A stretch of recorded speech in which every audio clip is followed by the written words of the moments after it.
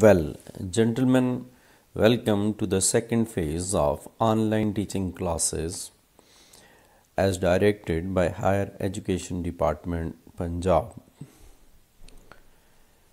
Here I am Sharif Zaid, Assistant Professor of English from Government Postgraduate College at. Okay, dear students, we have completed eight chapters, and today we shall start chapter 9 switch over to the text on page 20 this chapter also deals about the sweet memories of the past but these memories are of the ripe age maturer days of practical life of mr chips. Uh, so let us pay attention to the text. Chips changed his more commodious apartment in schoolhouse for his old original bachelor quarter. Changed is more commodious means vast. Apartment in school house school house में उसको एक खासा वसी कमरा मिला हुआ था। तो वो ओल्ड ओरिजिनल बैचलर क्वार्टर में चला गया। सिंगल रूम में। क्यों? अब फैमिली जो ना रही। He thought at first he would give up his house mastership first of all उसका ये ख्याल था कि मैं ये ड्यूटीज़ छोड़ देता हूँ to be the in charge of a house but the head persuaded him otherwise head of the institution ने उसको कन्विंस कर लिया. And later he was glad और फिर वो भी सेटिस्फाइड था कि चलें, उसने ये ड्यूटीज़ नहीं छोड़ी. कम अज़ कम बिज़ी रहने का बहाना तो है. The work gave him something to do filled up an emptiness in his mind and heart उसके दिल में जो यादें थी या जिनकी वजह से वो परेशान हो सकता था, उस दौरान ड्यूटी परफॉर्म करने की वजह से बिज़ी रहना एंगेज रहना उसके लिए बेहतर रहा। He was different everyone notice it अब के लोगों ने कहा, मिस्टर चिप्स बदल गए हैं। कैसे बदल गए हैं? Just as marriage had added something so did bereavement. Bereave means महरूम होना। Bereavement महरूमी जैसा शादी के होने से ही वॉज़ ब्लासम्ड वो निखर गया था। ऐसी ही महरूमी की वजह से भी उसके ऊपर असर हुआ। After the first stupor of grief he became suddenly the kind of man whom boys at any rate गम का वो सदमा, वो सकते का वो आलम। उसके बाद स्टूडेंट्स रिमार्क्स ये थे कि unhesitatingly classed as old students कहते थे, सर तो बूढ़े हो गए। It was not that he was less active किसी ऐसी वजह से नहीं कि टीचिंग में वो एक्टिव नहीं था। He could still knock half century on the cricket field आप पिच पे खड़े कर दें तो 50 कर मारेगा।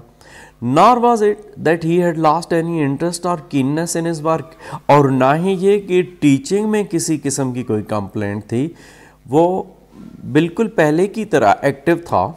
एक्चुअली जो his hair had been greying for years असल में उसके बाल सफ़ेद होना शुरू हो गए थे yet now for the first time people seem to notice it he was fifty अब लोगों ने देखा कि केयर करने वाला कोई ना रहा तो सफ़ेद बाल जो ही नज़र आए तो लोगों ने कहा, ओहो, सर तो बूढ़े हो गए।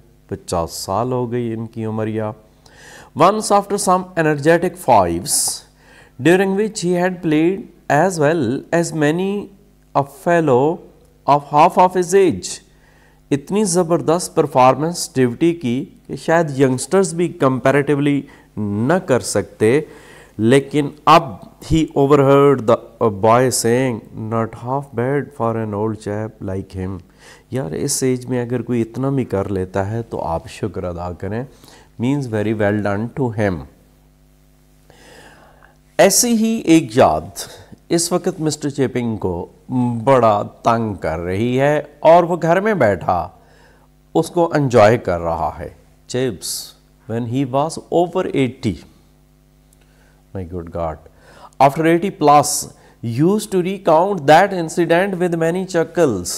Chuckle means enjoying laughter after intervals थोड़ी थोड़ी देर के बाद हंसता था और उस लड़के के अल्फाज इसके कानों में टकराते ओल्ड एट फिफ्टी हम मुझे उसने कह दिया था कि सर बूढ़े हो गए हैं पचास में। It was Nellor who said it and Nellor couldn't be far short of fifty himself by now और ये एंजॉय इसलिए करता था कि जिस बच्चे ने मुझे 50 का कहा था, वो खुद अब 50 क्रॉस कर चुका होगा। Because Chips himself was over 80 at that time when he was recalling that incident I wonder कहते हैं, आप जब वो खुद बच्चा 50 प्लस का है तो मुझे हैरानगी है। I wonder if he still thinks that 50 is such an age कि क्या वो 50 को इतना ज़्यादा समझता है?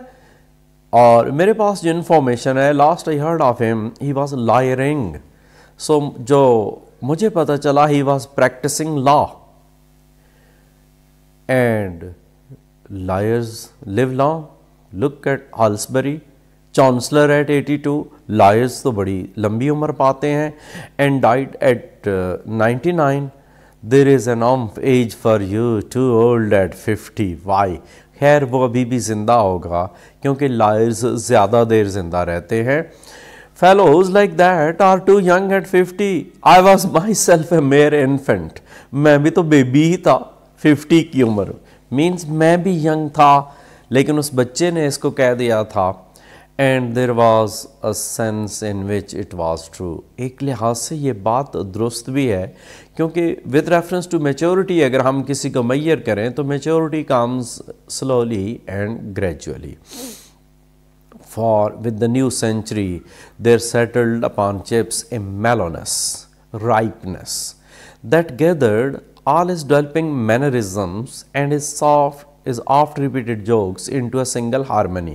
पचास की उम्र तक पहुँचते पहुँचते उसमें मेच्योरिटी आ गई थी। Nor longer did he have those slight and occasional disciplinary troubles ना ही अब वो प्रॉब्लम्स रहे विद रेफरेंस टू डिसिप्लिन उसके और feel diffident about his own work and birth और ना ही वो अंडर कॉन्फिडेंट था अपनी पर्सनालिटी के बारे में भी, अपने प्रोफेशन के बारे में भी, और ना ही डिसिप्लिन के बारे में।